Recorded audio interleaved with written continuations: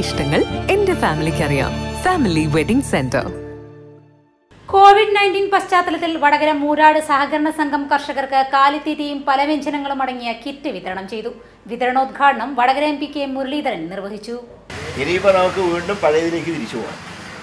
പഴയതിലേക്ക് തിരിച്ചു പോകുമ്പോൾ ഏറ്റവും നല്ലത് ഏത് മേഖലയാണോ നമുക്ക് ലാഭകരം ആ മേഖല തിരഞ്ഞെടുക്കും അതിൽ പ്രധാനപ്പെട്ട ഇനിയാണ് ക്ഷീരമേഖല എന്ന് പക്ഷേ ക്ഷീരമേഖലയിൽ ഒരു കാര്യം നമ്മൾ മനസ്സിലാക്കേണ്ടത്. ഇപ്പോൾ ഗവൺമെന്റ് തന്നെ പറഞ്ഞു നമ്മൾ വീടുകളിൽ പശുവിനെ വളർത്തുക. എനിക്ക് ഞാൻ തിരുവനന്തപുരത്ത് എം എൽ എ ഇരുന്നപ്പോൾ ആരെങ്കിലും പശുവിനെ വാങ്ങിച്ചാൽ ആദ്യം അറിയുന്ന ആൾ ഞാൻ മറ്റൊന്നുമല്ല പശുവിനെ വാങ്ങിക്കുമ്പോൾ ചാണകത്തിന്റെ നാറ്റം സഹിക്കാൻ വയ്യ. ഗോമൂത്രം നാറിയിട്ടിരിക്കാൻ വയ്യ. ഇനി നമ്മളും അതിന്റെ ഇതൊന്ന് മാറ്റണം.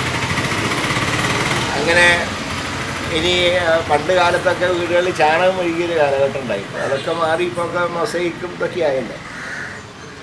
ഇനി കൂടുതൽ പശുവിനെ വളർത്തുമ്പോൾ ഏറ്റവും അധികം സഹകരിക്കേണ്ടത് പശുവിനെ വാങ്ങുന്നവരല്ല എന്റെ അടുത്ത വീട്ടുകാർ.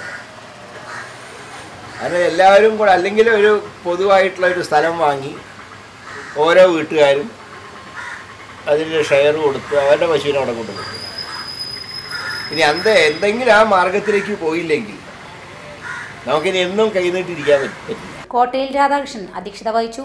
ഫസലു ശ്രീജിത്ത് നാരായണൻ സിന്ധു പുറന്തോടത്ത് സുകുമാരൻ എന്നിവർ പങ്കെടുത്തു. കഴിഞ്ഞ കഴിഞ്ഞ ഈ വർഷം ഞങ്ങൾ ജനുവരി മാർച്ച് മുപ്പത്തൊന്നിനുള്ളിൽ കൊടുത്ത മുഴുവൻ ചെക്കുകളും പാസ്സാക്കി തരുമെന്നാണ് സർക്കാർ പറഞ്ഞത്. പക്ഷേ ജനുവരി മാസം കൊടുത്ത ബില്ല് പോലും പാസ്സാക്കി കിട്ടാതെ ഇപ്പോൾ ബ്ലോക്ക് പഞ്ചായത്തെ സംബന്ധിച്ചിടത്തോളം അറുപത്തി എട്ട് ലക്ഷം രൂപ ഇപ്പോൾ ബുദ്ധിമുട്ട് നേരിടുക അറുപത്തെട്ട് ലക്ഷം രൂപ പാസ്സായിക്കില്ല. അതുകൊണ്ട് ഈ വർഷത്തെ സ്പിൽ ഓവർ വരികയാണ്.